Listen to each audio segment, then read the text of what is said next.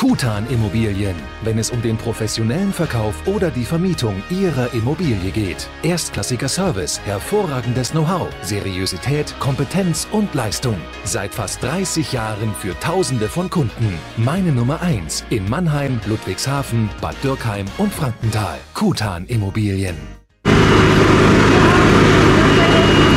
Gestern am 24.04.2018 kam es zu einem Kellerbrand in der Sauerbruchstraße 6. Als die Feuerwehr am Brandort eintraf, war das Treppenhaus des Mehrfamilienhauses mittlerweile stark verraucht. Eine weibliche Person befand sich im ersten Obergeschoss des Hauses und wurde von der Feuerwehr befreit und dem Rettungsdienst übergeben. Die Ludwigshafener Berufsfeuerwehr hatte den Brand schnell unter Kontrolle, allerdings mussten zahlreiche Nachlöscharbeiten getätigt werden. Insgesamt wurden fünf Personen dem Rettungsdienst übergeben.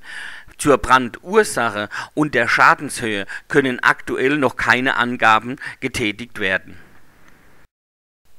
Aufgrund hoher Hitzewirkung wurden im Keller Versorgungsleitungen beschädigt und mussten von den technischen Werken getrennt werden.